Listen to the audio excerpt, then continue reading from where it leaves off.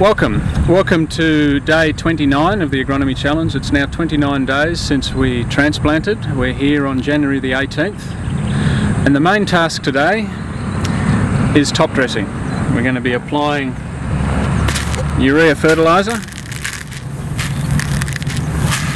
at a rate of uh, 45, 180 kilograms to the hectare. No, 100 kilograms to the hectare. So 29 days after after transplanting, it's on the, the early side of, of uh, the typical window for top dressing, but it's what the Nutrient Manager program is suggesting we do, particularly with a hybrid.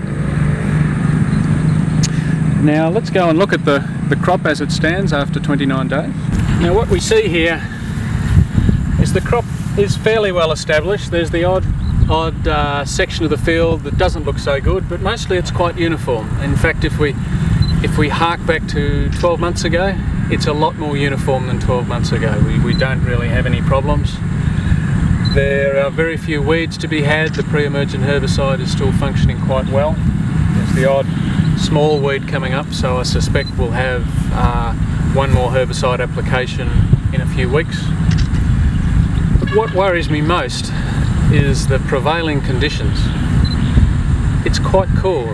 It's been uh, cool and wet for a good 10 days now. Somewhat typical of last season.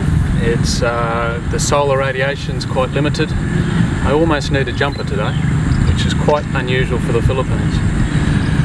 And what, what worries me most is with the cool conditions, and we already have quite a wide row spacing with, with the rice. It's, it's generally accepted here in the tropics that you should be have a row spacing of 20 or at most 25 centimetres and here we are out at 30 centimetre row spacing which is wider than what we want but with a mechanical transplanter we had no choice. But now we have a wide row spacing, the plants are spaced fairly wide apart. They want solar radiation to grow, for the canopy, canopy to spread and to, to get their photosynthetic process going and we're not really getting it at the moment, and that has me worried to a degree. Then again, worrying won't change the weather. So the one thing we can do is apply nitrogen fertiliser a little bit sooner rather than later, so that when we do get some solar radiation, it's got uh, thorough nutrition in which to take advantage of that solar radiation. So we'll be top dressing our 100 kilograms to the hectare of urea this morning and applying water straight thereafter.